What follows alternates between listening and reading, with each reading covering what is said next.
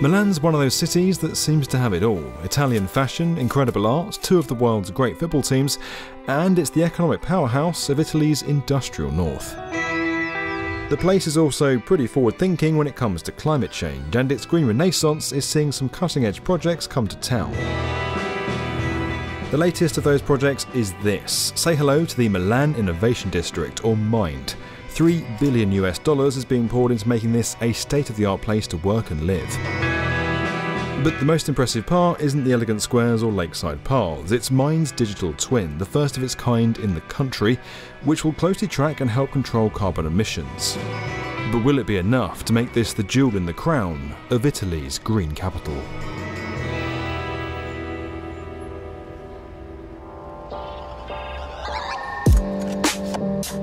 This 1 million square metre project is currently being built on the former site of Expo 2015, a World's Fair that was dedicated to advances in food production. Planners are hoping to harness that spirit to turn this place into an innovation hub. Now, that might sound like a corporate buzzword, but innovation hubs can actually have a big impact on an economy and produce world changing breakthroughs. The formula goes something like this create a space where companies, researchers, and entrepreneurs can collaborate and form links to a university or an industry leader.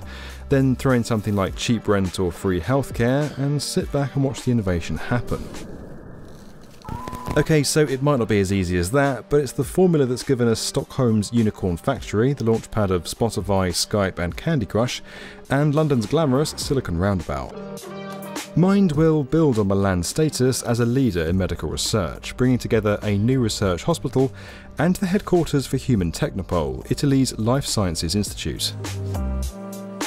There'll also be housing and office space for up to 60,000 people, and when they need a rest from all that innovation, there are restaurants, bars, and leisure facilities too. What we want to do within Mind is to have a five minutes uh, a district in which you work, but you also have a lot of services, leisure services, gym, restaurants.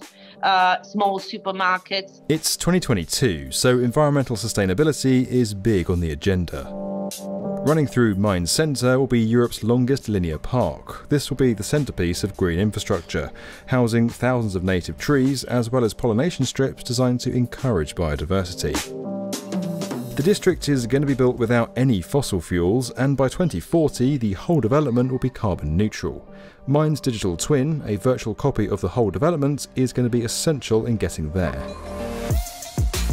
Digital twins look set to revolutionise civic infrastructure in the decades to come. By 2025, over 500 cities worldwide could be using a digital twin to manage some area of their operations. Diana Olick brings us the story of one startup using virtual imagery in the fight against climate change. The digital grid at Mind works by collecting data on how and when buildings are used. That data will then be used to model an individual building's usage, allowing AI to run its heating, ventilation, and lighting. The data on how individual buildings operate is then shared across the whole grid, letting the digital twin run at a district management level this digital grid that we are developing is going to serve not only the technological and connectivity needs of all the players, but will also enable a lot of mobility, uh, data gathering, uh, app services that will make life in Mind easier. As Mind citizens go about their innovative business, this technology will silently ensure their buildings operate at maximum efficiency, constantly monitoring energy usage and waste. It's these kind of insights which show the potential for digital twins in the wider fight against climate change. A whopping 70% of global carbon emissions are emitted by cities, and buildings account for around two thirds of that. If we want to stop the world from getting warmer, then we need to make sure our buildings are as efficient as possible.